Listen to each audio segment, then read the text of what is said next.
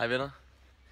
Jeg vil gerne tage jer med ned til et af mine, øh, mine yndlingssteder, hvor jeg har haft øh, rigtig mange øh, oplevelser, øh, som har betydet rigtig meget for mig her på højskolen. Som I kan se, så er vi selvfølgelig udenfor. Øh, som en ægte outdoor, så trives jeg jo bedst i skoven.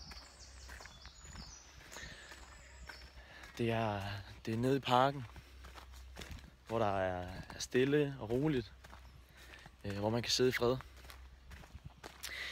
Det her nede Dam, han fortalte mig, øh, hvor meget han gerne vil være far, og hvordan han ser, at han øh, har en farrolle i forhold til os andre. Det hernede af til, han for første gang fortalte mig, at han var forelsket i Bo, og hvor meget han vil øh, kysse på hendes næste fest. Det er her, hvor jeg tager øh, min gode ven Karoline med ned for at få en god snak. Øh, vi øh, løser oftest verdenssituationen. Det er også her, at Kasper han tager mig med ned øh, og fortæller mig, at, øh, at jeg er hans yndlingselev på Outdoor, og at, øh, at Siri hun aldrig har styr på hendes fax. Så som I kan høre, så er det bare et sted, der, der er fyldt med gode minder og, øh, og godt humør. Og det vil jeg gerne dele med jer. Så det er her på den bænk her ved søen.